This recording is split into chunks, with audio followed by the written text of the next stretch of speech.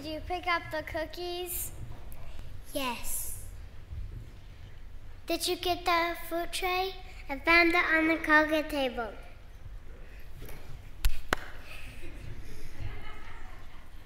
Did you get the hot chocolate and the coffee K cups? Yes, but we only had plain creamer. What? No pumpkin spice? I better add that to the list. I ordered the cake for Jesus. Good job. It is his birthday after all. Is everything ready for the party? Just about. Great. The choir should be finishing soon, and the bus will bring them home to us, and our party can begin. I wonder what's on the plane now.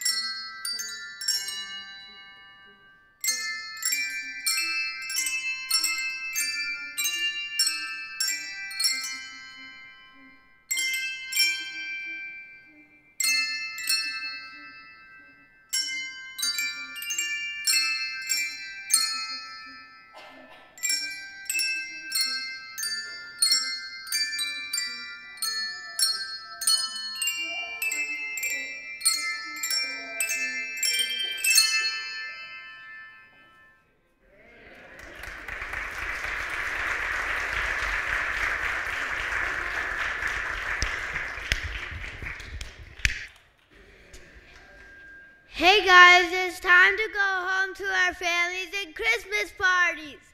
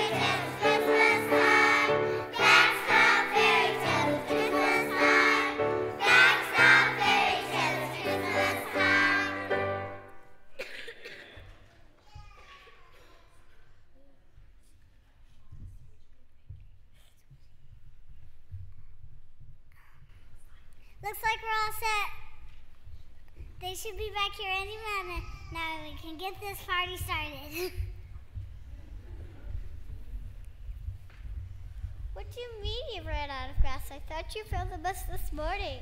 Are you okay? All right, we'll see you when we get here then. Bye. what happened? Apparently, brother Aaron, Aaron thought brother Andy put gas in the rest, and brother Andy thought brother Aaron put gas in the rest. So nobody filled the gas this morning. Now they're stuck and stranded on the side of the road. Did they call for help? Someone from the church is bringing them gas, but it's gonna take a lot longer for them to get home. This is terrible. The party is ruined. How depressing. This is so depressing. Duck out here in the cold when we should be at our Christmas party. What rotten luck.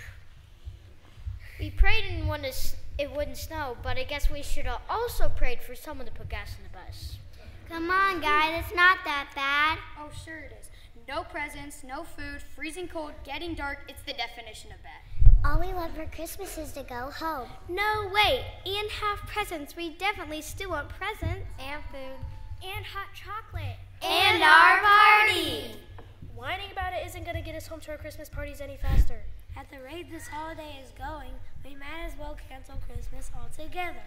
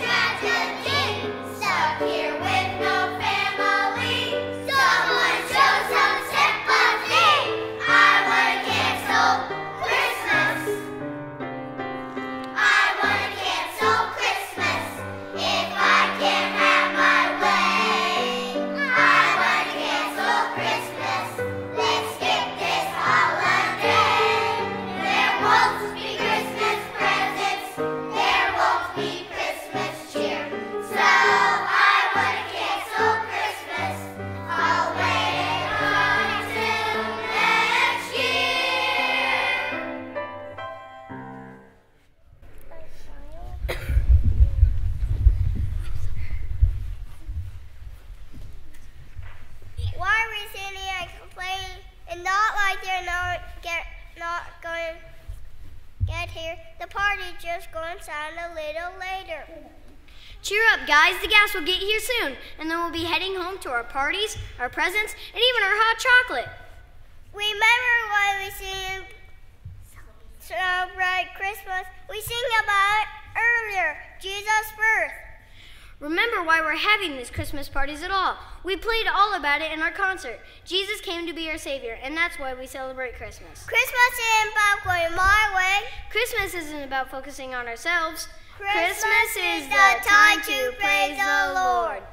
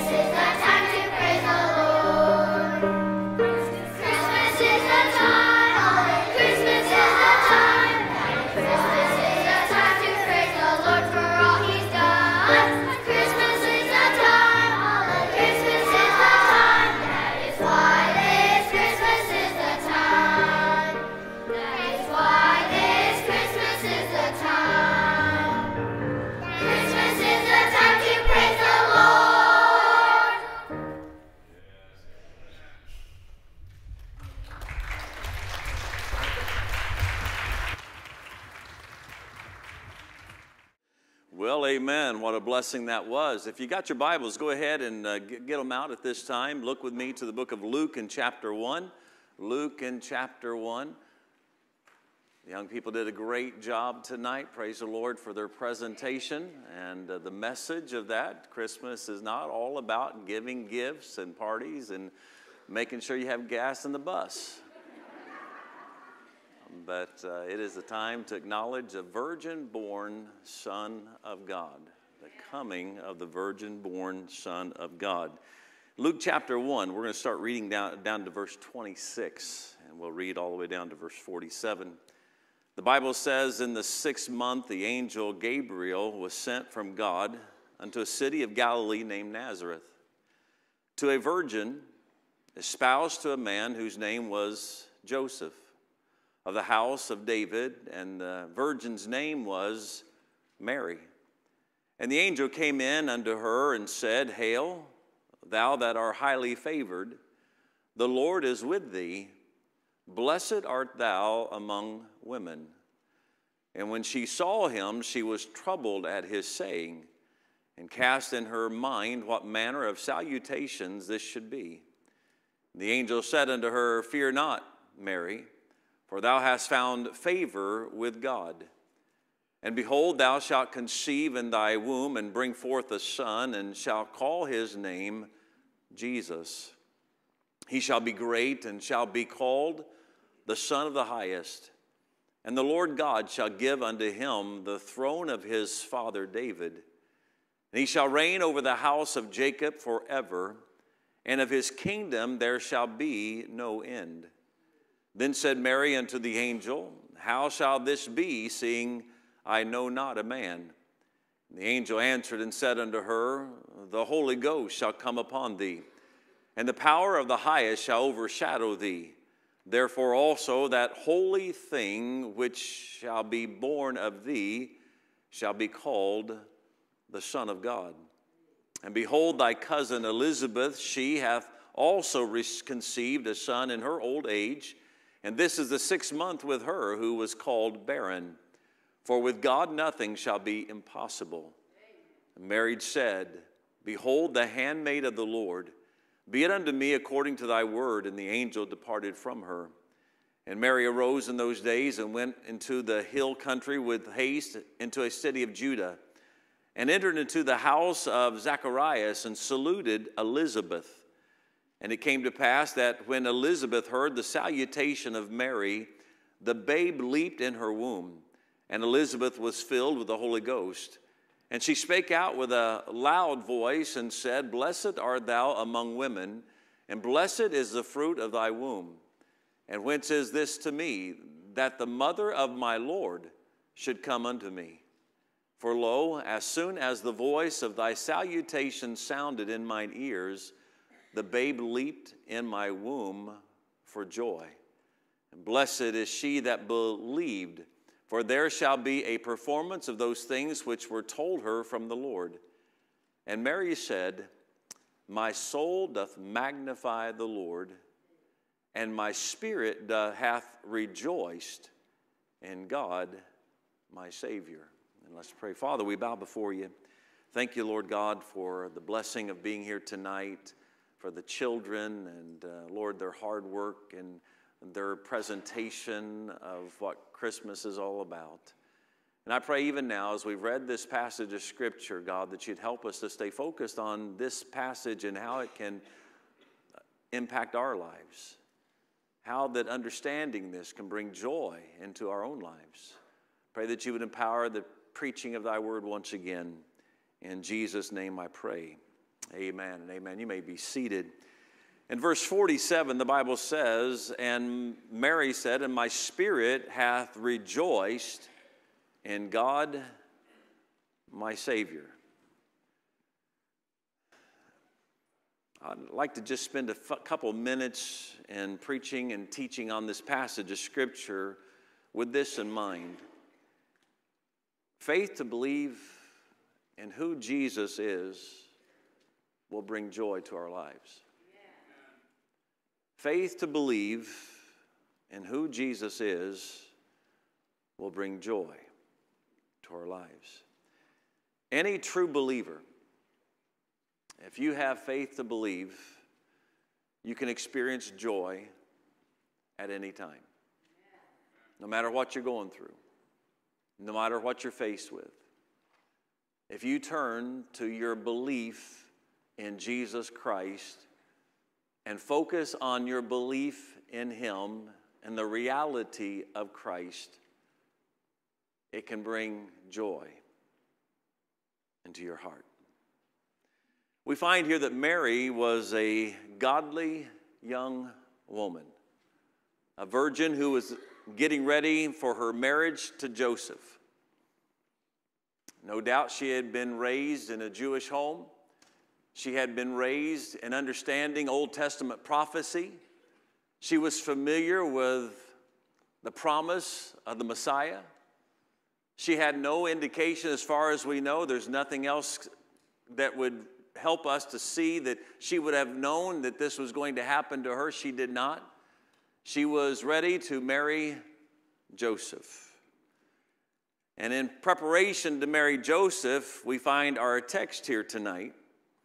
In verse 28, the Bible says, And the angel came in unto her and said, Hail, thou that art highly favored, the Lord is with thee. Blessed art thou among women. now, the reality is that some 2,000 years ago, Mary was there in Jerusalem. And this angel of the Lord came to her before she was ready to be married to Joseph. She had, uh, like any other girl, been looking forward to her marriage with Joseph. She had been, no doubt, looking forward to establishing a good Jewish home and teaching the, the words of God, the commandments of the Old Testament. Little did she know that God would use her to usher in New Testament Christianity. She did not understand to start with. We find the angel come to her and he says, Blessed art thou among women. And when she saw him, she was troubled at his saying, cast in her mind what manner of salutation this should be. Why in the world am I experiencing what I'm experiencing right now? And hearing the voice of an angel telling me that I am blessed amongst women he goes on to explain to her exactly what God has chosen her to do. Almighty God had chosen her to be the one in whom the only begotten Son of God would be brought into this world. Wow. I mean, put yourselves there, ladies. the reality of the angel telling Mary that she was called of God, highly favored of the Lord, and that she would bring forth as a virgin the only begotten Son of God. Verse 38, we find the Bible says, after this was explained to her by the angels, and Mary said, Behold, the handmaid of the Lord be it unto me according to thy word. Now, I love that because that shows just the, the faith and the genuine belief in Mary and knowing that this was prophesied, knowing this was going to happen, but still rather confused that she would be the one chosen. The humility of that. Mary yields to God's will. But in yielding to God's will, she's still feeling possibly a little troubled, as when the angel first came to her. She might have still been feeling a little bit uncertain, wondering, because the angel now has departed, and she's probably wondering, was that a dream? Did that just happen? and then she remembers the angel told her in verse 36 and verse 37 and behold, thy cousin Elizabeth she also hath also conceived a son in her old age, and we would know him to be John the Baptist. And she has conceived a son in her old age, and this is the sixth month with her who was called barren. For with God nothing shall be impossible. So now the angel has gone, but yet he left her this message, knowing that she would go to see her to confirm what that this is real. The angel was no longer there, but we know that she knew where Elizabeth lived. And we find that she left, and Mary arose in those days and went into the hill country with haste into a city of Judah. Now, she went because she needs confirmation. She had just met with the angel of God and she heard things that she never expected to hear, to hear what was going to take place in her life, that she would be chosen of God to bring forth the Messiah. Yeah. She goes and she enters the house of Zacharias and saluted Elizabeth. The Bible says in verse 41 And it came to pass when Elizabeth heard the salutation of Mary, the babe, John the Baptist, inside the womb of Elizabeth. The babe leaped in her womb, and Elizabeth was filled with the Holy Ghost, and she spake out with a loud voice and said, Blessed art thou among women. Now she's speaking to Mary. Now, Mary just heard that she has this child inside of her that was of the Holy Ghost, that was the, would be the mm, Messiah. She's not showing. There's no way Elizabeth could have known that she was conceived, she had conceived and she was bearing a child. Mary knew exactly what was taking place, and she goes, and, and we find here that the Spirit of God actually spoke to John the Baptist inside the womb of Elizabeth. And then he allows Elizabeth to cry out and to reveal to Mary what she had just been told. And when Whence is this to be that the mother of my Lord should come unto me? I love that too. She says, You're the chosen one. And you're carrying my Lord. You're carrying my Savior. You're carrying the only begotten Son of God. And you come to visit me. Hmm. At that point, and Mary said, My soul doth magnify the Lord. At that point, she understood and she had faith to believe.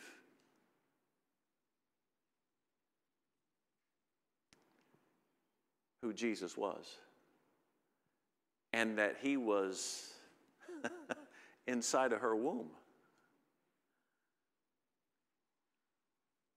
And then the Bible says that she said, And my spirit hath rejoiced. There was joy that came over her like she had never experienced before.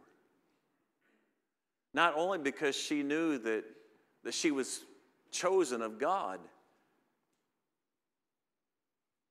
but she knew that Jesus was real. She knew that Jesus, the Messiah, was coming. He was coming to fulfill the Old Testament prophecies.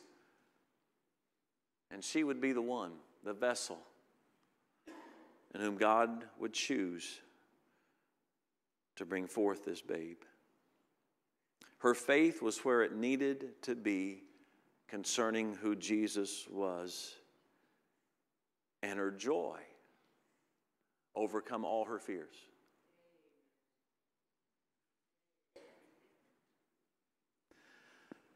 The joy of knowing that Jesus is my Savior, is my Lord.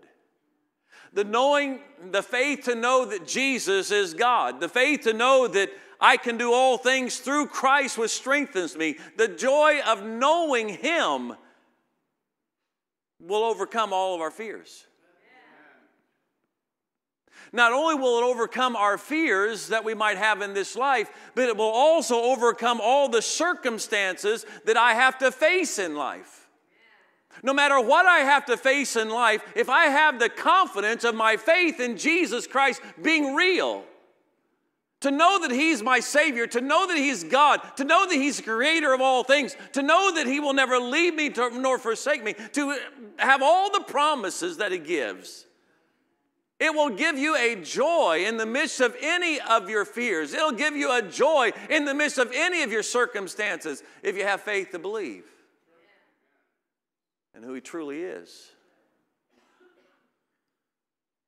She would have to have been thinking about her family, knowing they, wouldn't, they couldn't believe it. What's my family going to think? They know that I have not been married yet, and yet I am with child. But in her mind, she thought, if God's able to plant the seed of the Messiah inside of me, He can take care of my family. He can help them to understand whatever they need to understand. I don't have to fear what my family is going to think. I don't have to be concerned about my, what my family is going to do. My God, He is Almighty God. If He can do this, He can take care of any of my problems. She had to think about Joseph. No doubt, I mean, she had to go and present to Joseph in her mind that Joseph, I'm with child, but I've not known a man. Reality, that's something that no one's going to believe. Outside, they understand and have faith in God. And understand that it was prophesied, and there would be someone, some woman, some virgin that would bring forth this child. That was the prophecy of the Old Testament. And she would be the one with her faith to know that she was chosen and she was the one, then she would have to just turn Joseph over to another angel that would go and prepare him for what God's plan was for him in, this, in the midst of this. She would have to prepare and think about her mother in law. if there's one skeptic, it would have to be Joseph's mother.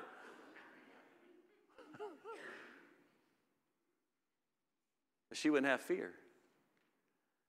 Because the joy of having faith to believe would overcome her fears. The joy to have faith to believe would overcome her circumstances. Faith to believe who Jesus is will bring joy. Now, I love that. And then just a couple more minutes, I want to share something with you. And Another example that God gives us of this very same thing, but this presents more of what it's going to take for all of us to have this same faith and the joy that's associated with our faith to believe in Jesus Christ. In the book of Acts, in chapter 8, in the book of Acts, in chapter 8, we find the story of the Ethiopian eunuch. This Ethiopian eunuch was searching for spiritual truth. The Bible says in verse 30, and Philip ran thither and to him and heard him read the prophet Isaiah and said, Understandest thou what thou readest? And he said, How can I? Except some man should guide me. And he desired Philip that he would come up and sit with him.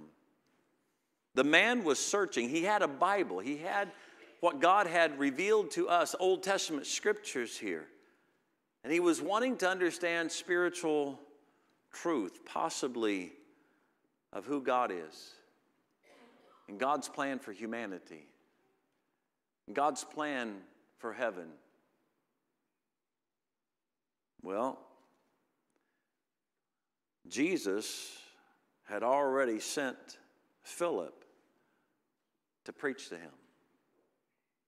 And Philip preached unto him Jesus in verse 35. Then Philip opened his mouth, began at the same scripture.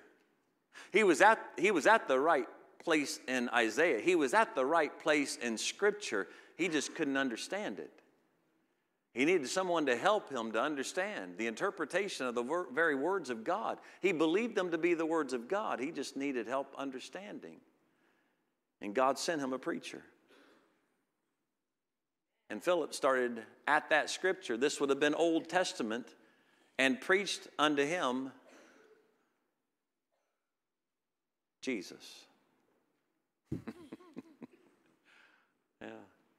Verse 36 And as they went on their way, they came into a certain water, and the eunuch said, See, here is water. What doth hinder me to be baptized?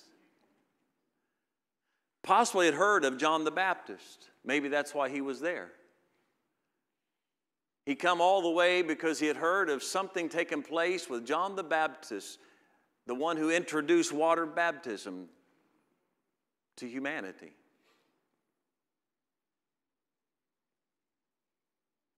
He thought about baptism, as many will try to think of baptism as far as God's plan of salvation, but he didn't fully understand it. But we find here that Philip knew exactly what he needed to hear. And verse 37 is, was then and is now the key to salvation.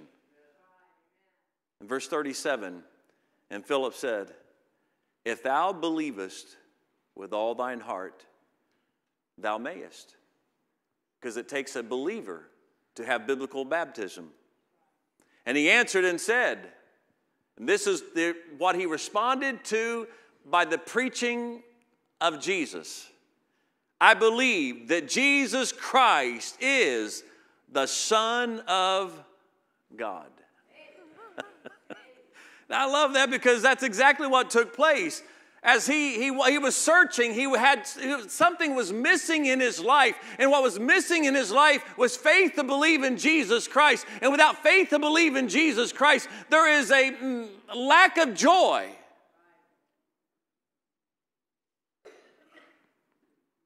But he believed in the Old Testament prophecies of the coming of the Messiah.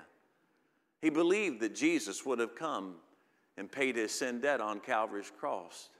He believed that Jesus would have been virgin born. He believed that Jesus, not only would he have sacrificed his life to pay a sin that humanity owed and couldn't pay, but he resurrected on the third day. And baptism was established so that he could identify with his Savior, Jesus Christ. The book of Romans in chapter 10, Romans in chapter 10, verse 9, that if thou, whoever that would be, that was me at one point in my life. If you're saved, it was you at one point in your life. If you're here tonight and you're not saved, it could be tonight. That if thou shalt confess with thy mouth the Lord Jesus, and shalt believe in thine heart that God hath raised him from the dead, thou shalt be saved. For with the heart man believeth unto righteousness, and with the mouth confession is made unto salvation. For the scripture saith, Whosoever believeth on him shall not be ashamed. For there is no difference between the Jew and the Greek, for the same Lord over all is rich unto all that call upon him. For whosoever shall call upon the name of the Lord shall be saved. And after he was baptized, the Bible says in verse 39, and when they were come up out of the water, the Spirit of the Lord caught away Philip, that the eunuch saw him no more. And he, the eunuch, went on his way, rejoicing. I love that the Bible puts that in there because it's helping us to see what Mary saw. If we have faith to believe in who Jesus is, it'll bring us joy in the midst of any and every circumstance of life. Do you have faith? If your eyes were to close in death tonight, do you know for sure that you have faith to believe and you have received Jesus as your personal Lord and Savior? As you go home to face whatever you have to go home to face tonight, as you have to go out into the world tomorrow as you have to deal with your finances, as you, have you, as you have to deal with your health, as you have to deal with relationships, whatever it might be, Do you have joy? If you, if you have faith to believe in who Jesus is, as you face all the circumstances of your life, you can have the joy of the Lord made available to us by way of Jesus Christ. If I could have every head bowed, every eye closed tonight. Faith to believe in who Jesus is. Are you looking for something that'll bring joy to your life? Look no farther than Jesus Christ. Put your faith and trust in Him. It'll make a difference. Father, we bow before you tonight. Again, we thank you for what we've experienced being in this service tonight. Thank you for the children and their program, but I thank you more than anything else for the very words of God that you've preserved for us. That we might read and study and preach the words that you have preserved. I pray tonight, God, that as we have presented these scriptures, that you would take this and you would apply them to each and every one that's here tonight. So that before we leave, we would all be able to experience the joy of our faith in knowing who Jesus is. Blessing this invitation in Jesus' name.